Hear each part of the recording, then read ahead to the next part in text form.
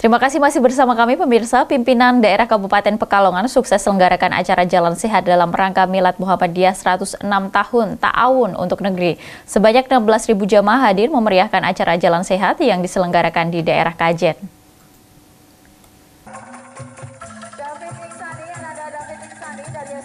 Milad 106 tahun Muhammadiyah dengan mengangkat tema tahun untuk negeri, mengingat banyaknya musibah yang menimpa negeri sepanjang tahun ini. Muhammadiyah juga turut berduka melalui semangat milad 106 tahun. Muhammadiyah juga menumbuhkan semangat membantu bagi sesama. Sejalan dengan semangat Muhammadiyah dalam bertahun untuk negeri, pimpinan wilayah Muhammadiyah Jawa Tengah mengeluarkan surat edaran kepada seluruh pimpinan daerah se-Jawa Tengah untuk menyelenggarakan jalan sehat secara serentak di 35 pimpinan daerah. Namun tak hanya sekedar jalan sehat, Seluruh jamaah juga diminta untuk mempersiapkan infak terbaiknya untuk disumbangkan pada korban bencana alam. Kegiatan hari ini adalah kegiatan jalan sehat yang dilaksanakan di Kabupaten Pekalongan oleh pimpinan daerah Muhammadiyah Kabupaten Pekalongan bersama-sama pimpinan daerah Muhammadiyah se-Jawa Tengah. Jadi ini merupakan kegiatan yang terprogram oleh pimpinan wilayah Muhammadiyah untuk dilaksanakan secara serentak di uh, seluruh kabupaten dan kota di Jawa Tengah.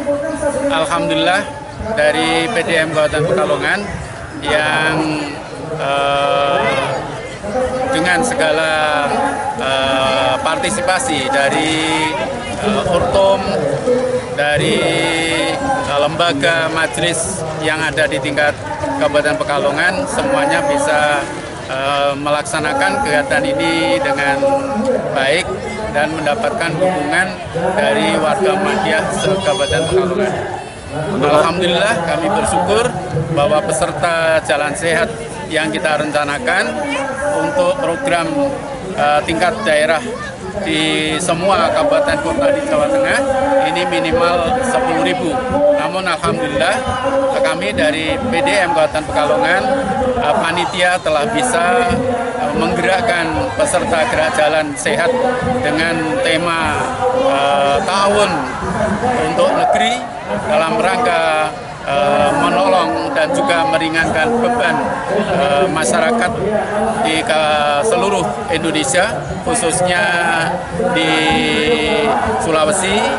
Uh, ini bisa terkumpul yang saat ini dari kumpulan masyarakat awalnya lebih dari 210 juta ditambah pada hari ini 75 juta.